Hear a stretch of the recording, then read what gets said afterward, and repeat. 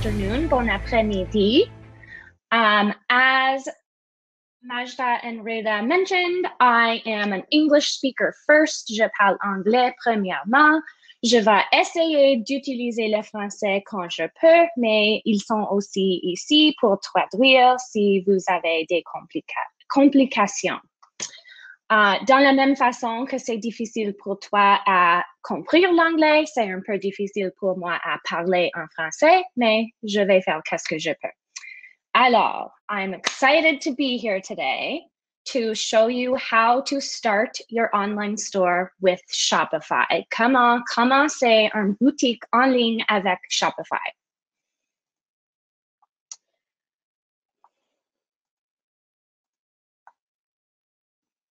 Can you see my screen? Est-ce que vous pouvez voir mon écran? Je ne peux pas voir le chat, so if somebody could say yes, that would be great. Yes, it's perfect, Krista. Si, It's good for you, Krista. Yes. Merci.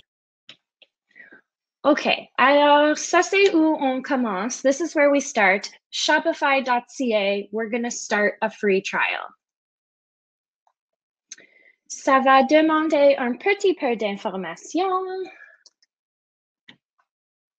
Mon adresse d'email, un password et un nom pour mon boutique. Et pour aujourd'hui, je vais créer une boutique de bougies.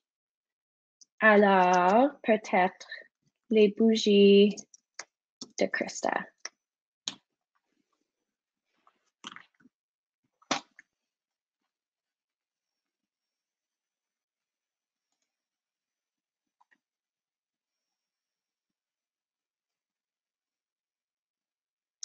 Et voilà, I'm going to have a store in a moment.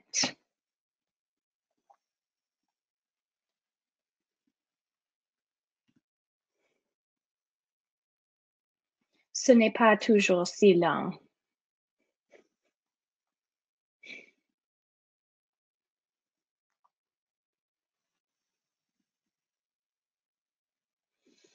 OK, et il veut un peu plus d'informations ici et vous voulez, euh, vous pouvez voir pourquoi en quelques minutes.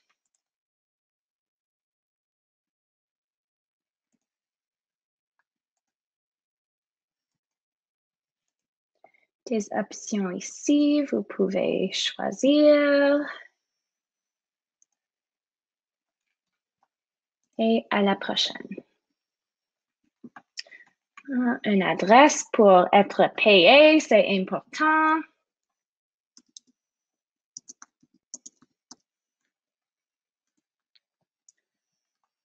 C'est l'adresse de mon bureau, pas ma maison.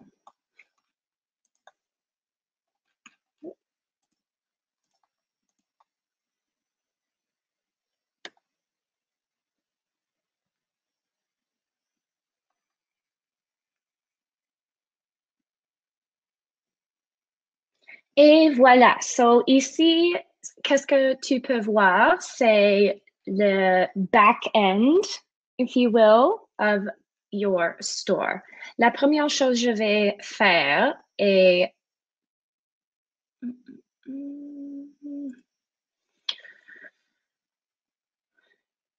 je vais changer la langue à français pour que vous pouvez comprendre un peu plus.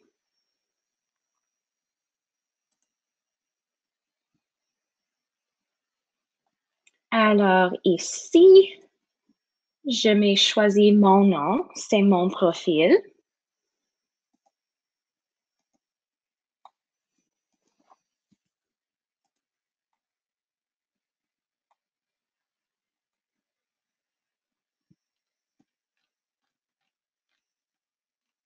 Et juste ici, la langue préférée, on va faire français.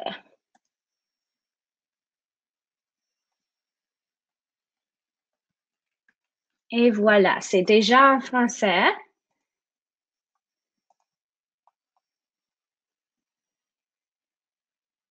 Voilà, j'ai une boutique en français. J'espère que euh, vous pouvez comprendre un peu plus quand je parle avec les mots français sur votre site. Alors, accueil, c'est kind of your home main area. Ça, c'est pour vous à utiliser et faire des choses différentes pour votre entreprise. Alors, on a, des sections ici pour toutes les différentes choses.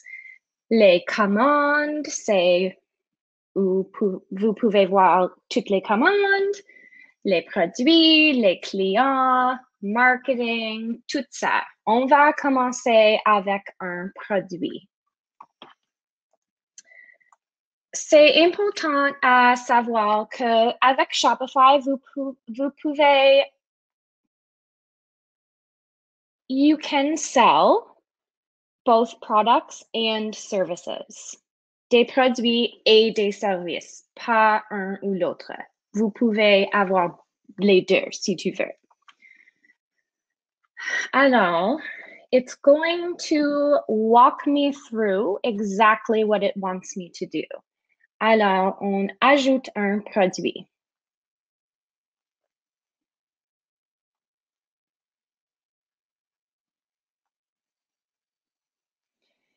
Et vous pouvez voir ici, il y a toutes les petites sections et il me dit exactement qu'est-ce que je dois entrer là. On commence avec le titre. Alors, j'ai un produit qui est un demi-pot.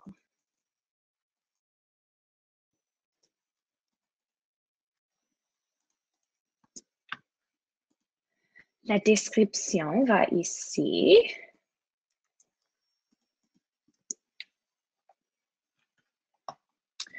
Je peux ajouter les photos.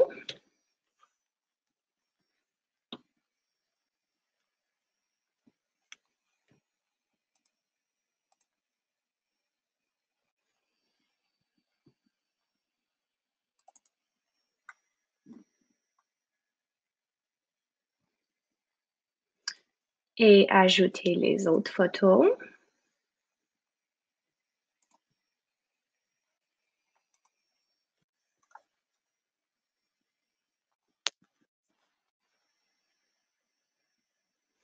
Et je peux changer quelle est la première photo si je veux.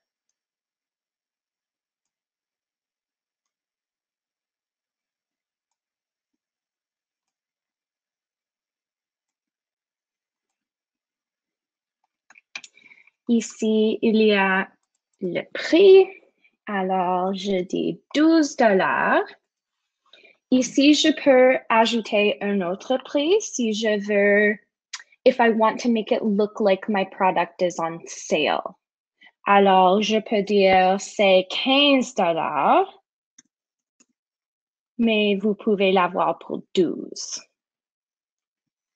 Je peux aussi ajouter combien ça coûte pour moi et voir mon profit.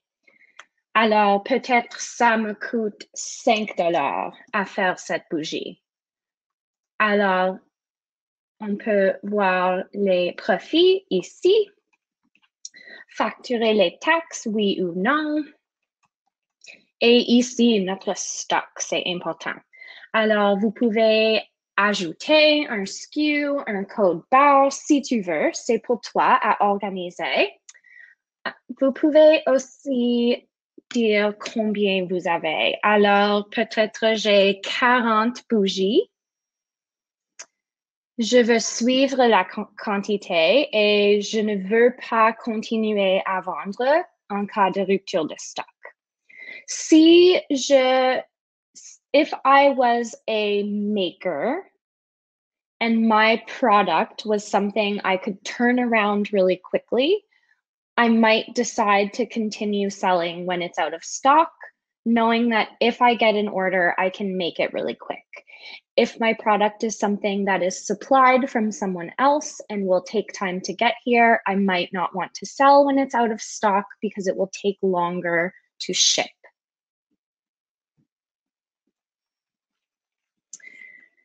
Alors ici, on décide qui est-ce que c'est un produit physique ou non. les poids, c'est très important pour quand on fait le shipping. When we get to your shipping, the weight of your products is going to be important. Alors,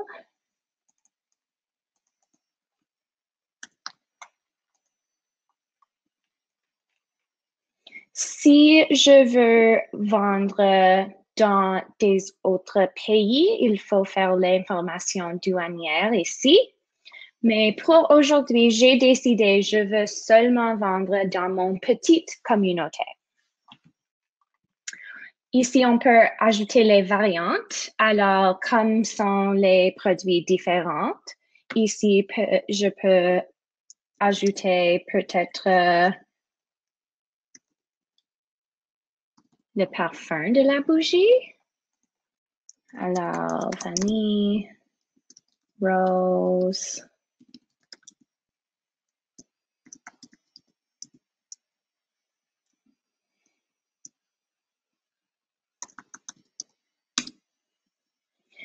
Je peux ajouter une autre option si j'ai un. Euh, peut-être la mèche est différente. Je sais, on a besoin d'un accent là. Ah, en bois ou en. How do you say string? Je vais juste ajouter string. J'oublie le mot. Et ici, on peut décider s'il y a un différent prix, combien de chacun. Peut-être j'ai 5, 1, 3, je peux ajuster tout ça.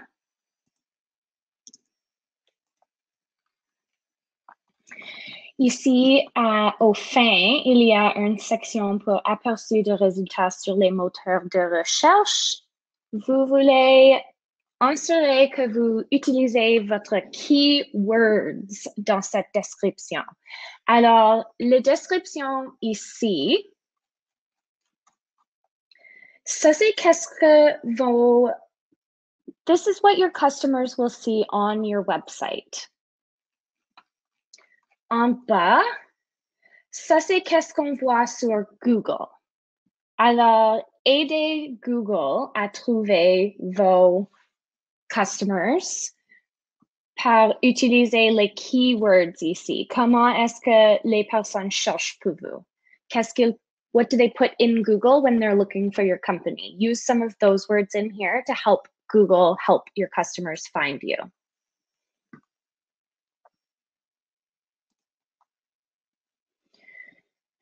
Alors,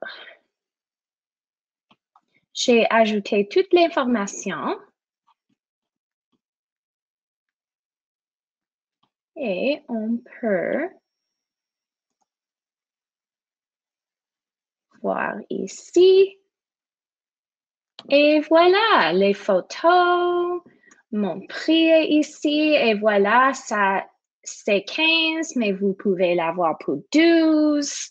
Mon description est ici. Toutes les variants sont ici.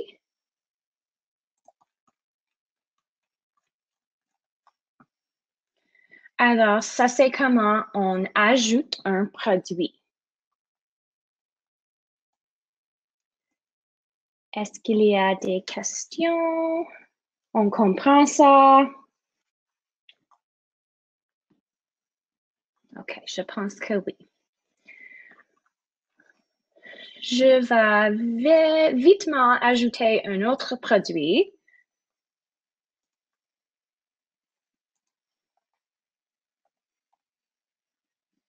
Sans variant, juste pour qu'on peut avoir deux là. Et ça va être euh, les bougies en pot plein. Il y a une question, c'est euh, What is QS? C'est la même description parce que c'est la même bougie, juste plus large. Et je peux ajouter les photos encore ici. Peut-être euh, un peu plus grand.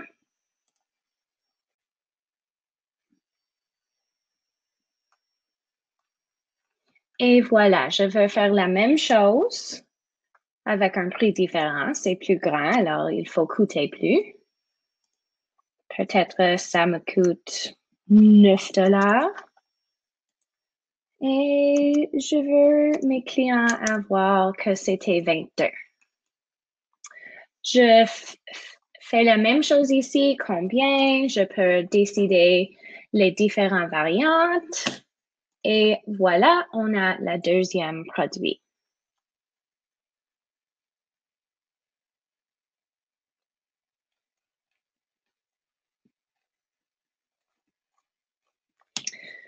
Quand vous avez des produits ou des services, vous pouvez organiser dans des collections. Ça, c'est une façon facile pour vos clients de trouver qu'est-ce qu'ils cherchent.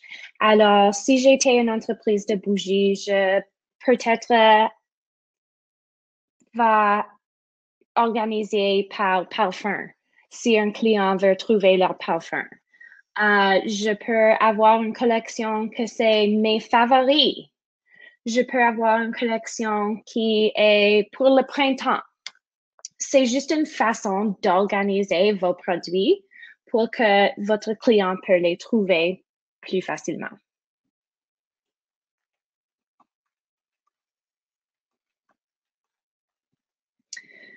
Alors, je vais faire une collection, mais créer une collection. Première étape. Et je vais dire mes favoris. Vous pouvez faire les collections automatisées. Pour mes favoris, je veux faire manuel. Je veux euh, choisir les produits ici. Alors, ça, c'était mon favori. Je veux enregistrer.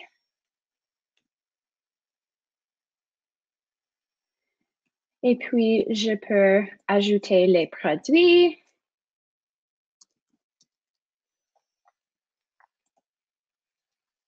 Je veux ajouter les bougies demi-pot à ma collection Mes favoris.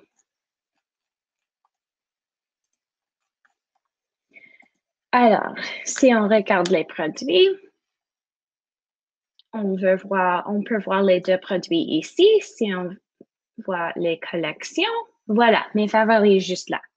Alors, maintenant, on a ajouté des produits ou des services, si ça c'est le cas, et on a organisé dans les collections.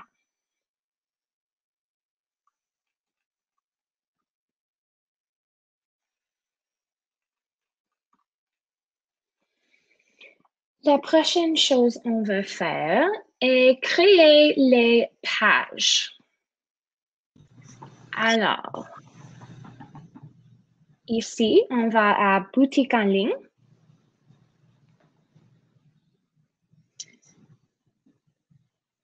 Et aux sections de pages.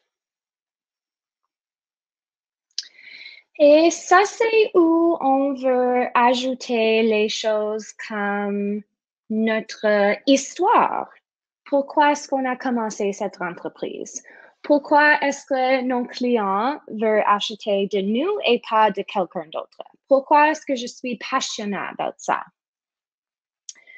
Euh, des autres pages qui sont importantes à considérer say un, I don't know how to say it in French, a contact us page. Oh, contactez-nous. It's right there for me.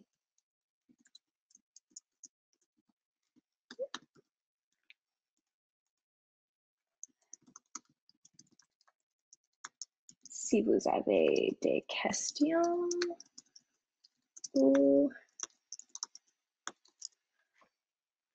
I'm sure my grammar is terrible. Forgive me. Si vous avez des questions des concernent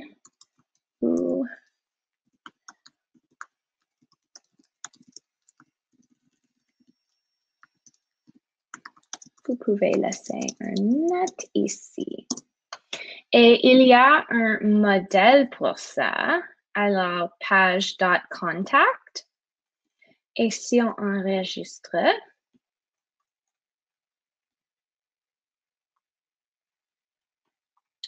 on peut voir que ça nous donne la forme, nom, adresse d'email, numéro de téléphone, message, alors, il ne faut pas créer une forme, c'est déjà là pour toi.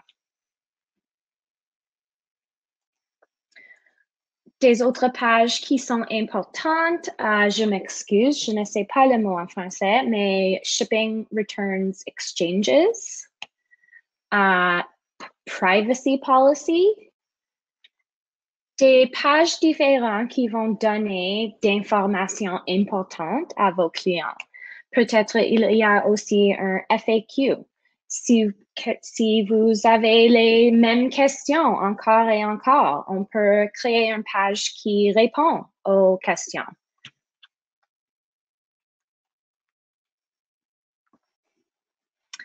Euh, je veux vous I want to show you an example of a really great About Us page. Un exemple ici que j'ai trouvé.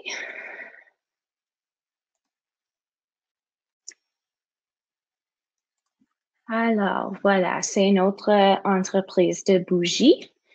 Mais juste regarde toute l'information sur cette page on peut lire l'histoire, on peut voir les photos, il y a leur mission, comment ils uh, give back, donner à les communautés et les charities, comment ça a commencé, comment ça fonctionne? C'est beaucoup d'informations qui va Comment dit-on trust en français?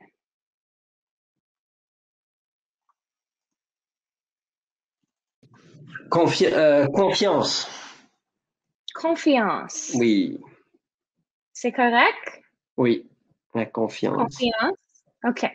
So, alors, les pages comme ça vont aider avec les la confiance de vos clients et il faut avoir beaucoup de confiance pour acheter quelque chose en ligne.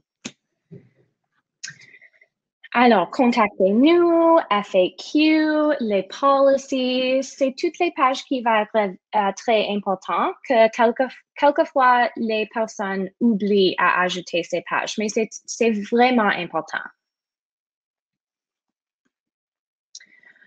Uh, il y a aussi une section ici pour articles de blog. C'est vraiment important pour un une entreprise. Euh, ça va aussi aider avec la confiance. Vous pouvez éduquer vos clients. Vous pouvez um, you can educate your clients, you can engage them, you can share information that speaks to their interests, that draws them into your website. It's great for your marketing. Et c'est très facile à écrire un blog. Juste comme ça. Et le même que quand on a regardé les produits, il va me dire qu'est-ce que je dois mettre ici. Alors, peut-être je veux un post about 10 façons d'utiliser les bougies pour se détendre. Je pense que mes clients veulent lire ça.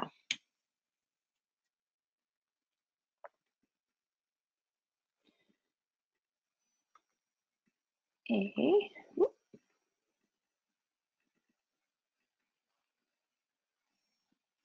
ça c'est en anglais, it's just a placeholder. Vous pouvez aussi écrire en français, décider l'auteur. On peut avoir les différentes sections sur notre blog. Je vais laisser là. Et voilà.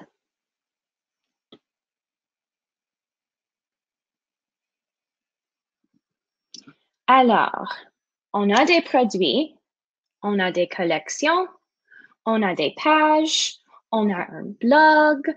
Maintenant, c'est le temps à commencer à organiser how that will look on your website. Alors, on veut on veut regarder la navigation.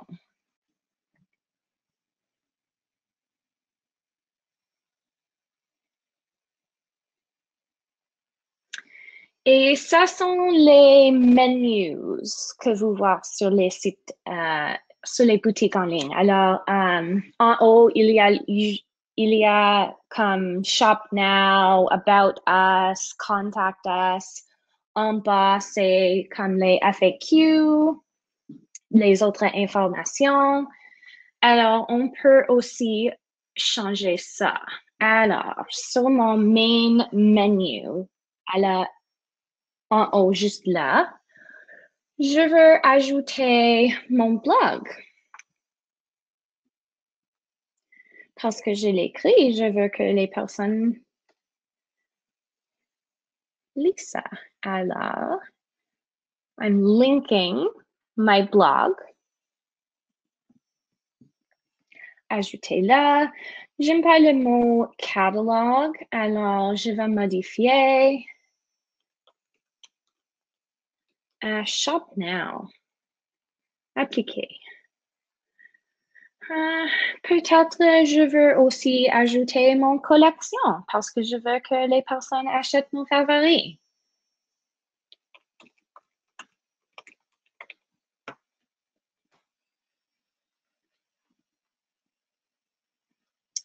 Voilà, it's linked right there. Ajouter.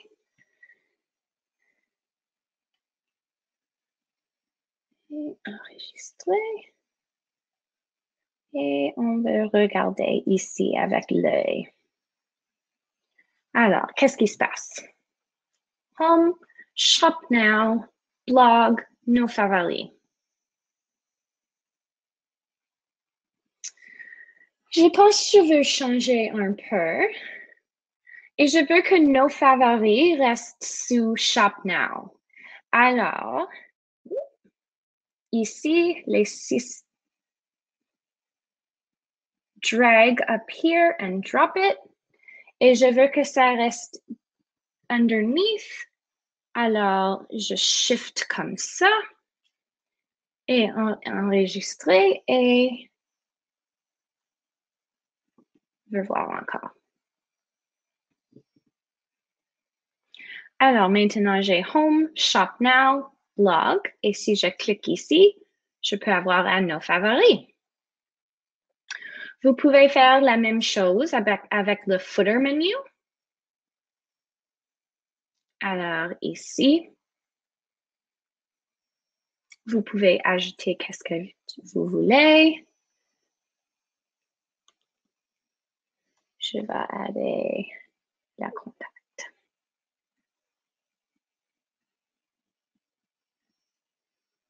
Et voilà. Enregistrer.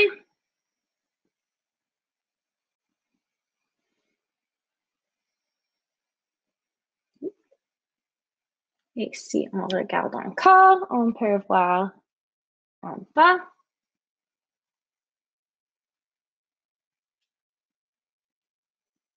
Ici, Search and Contact Us. Alors, vous pouvez ajouter qu'est-ce que tu veux ici? C'est ton choix comment tu veux organiser votre boutique.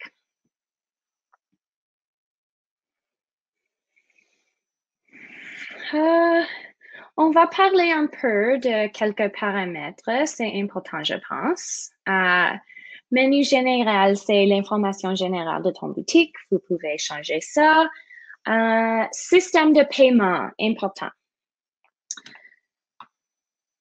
Avec Shopify, nous avons notre own système de paiement, c'est Shopify Payments.